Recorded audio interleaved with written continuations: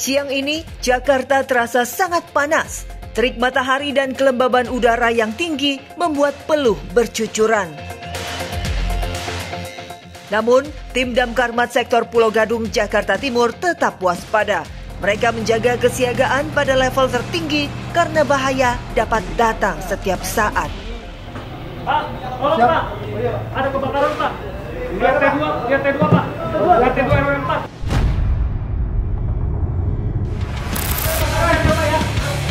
Benar saja, seorang warga datang dan melaporkan Jaya 65 atau peristiwa kebakaran di rumah warga Kelurahan Kelapa Gading.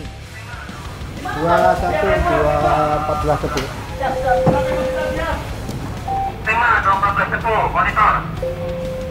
Informasi ada warga datang ke pos kantor sektor terjadi Jaya 65 di RW 4 Kelurahan Kelapa Gading Timur. Cepat ya Pak. Iya iya Pak. Iya Pak. Siap siap Pak. Monitor. Informasi 65 jalan di RW 4 Kelurahan Kelapa Gading Timur. Segera luncurkan unit. Lapangan untuk sementara sementara dari kantor sektor dua unit mobil pompa dan satu unit pendukung. 6 di monitor. Utamakan keselamatan anggota hati-hati dalam perjalanan. Agus Sunarwan sebagai Komandan Peleton Tim C Damkarmat Sektor Kelapa Gading dengan sigap menginstruksikan tim untuk melakukan persiapan.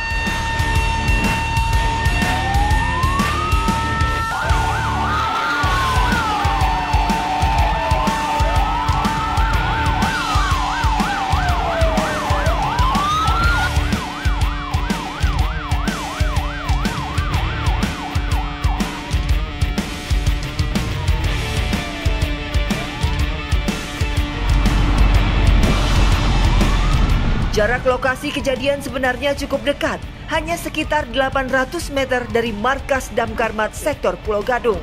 Tapi, laju kendaraan pemadam sempat terhambat karena jalan yang sempit dan berliku.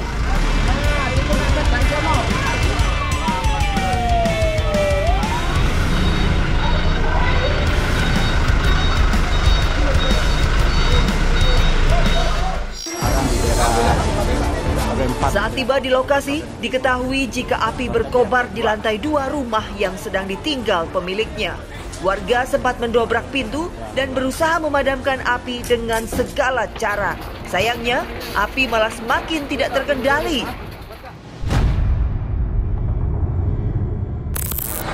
Petugas yang datang selanjutnya berusaha memadamkan dan melokalisir api. Tujuannya adalah agar api tidak merambat ke bangunan lain. Kemudian barulah dilakukan upaya pendinginan dengan menyemprotkan air selama beberapa saat ke tempat-tempat yang masih panas.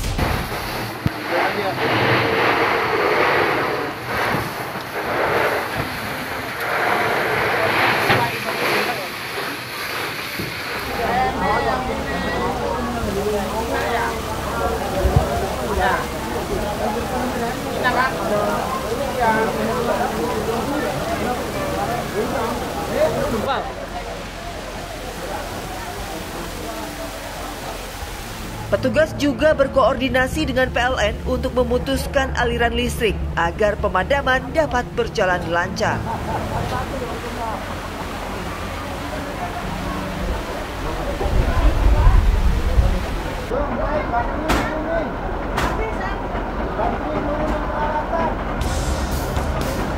Setelah berusaha selama satu jam, barulah api benar-benar padam. Tim pun melaporkan progres situasi kepada markas komando.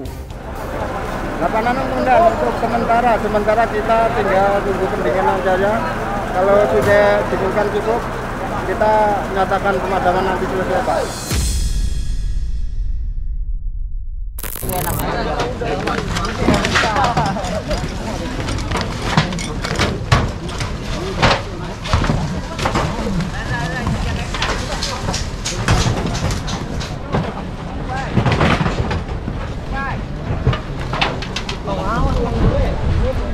kebakaran berhasil dilokalisir, kerusakan tetap tidak terhindarkan.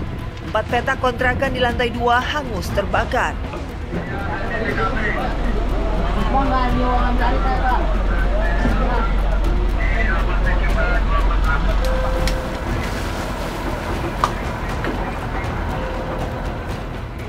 Ekspresi kelegaan terpancar dari seluruh warga dan petugas yang bahu-membahu memadamkan api. Melihat petugas damkar mat yang kelelahan, sejumlah warga berinisiatif memberi air minum sebagai pelepas dahaga. Bu, buat siapa Bu itu Bu? Eh, buat pemadam kebakaran Pak, kasihan. Kenapa Bu? Kan udah membantu warga. Ya kan biar ngilangin rasa haus sedikit itu Pak. Makasih ya Bu. Sama-sama Pak. Beruntung tidak ada korban jiwa dalam peristiwa ini. Petugas pun belum bisa memastikan penyebab terjadinya kebakaran.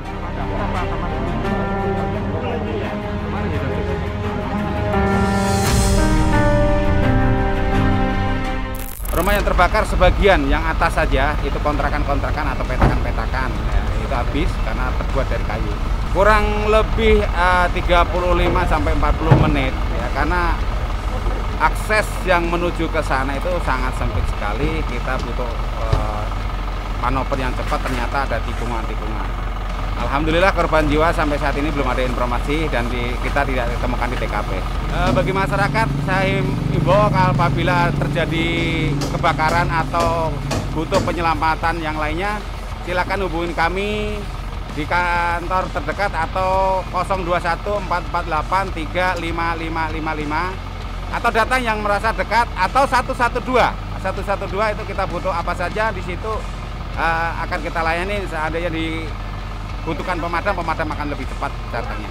Dan untuk pelayanan kami satu kali 24 jam, eh, tidak dipungut biaya, dan pelayanan kami tidak membutuhkan surat menyurat.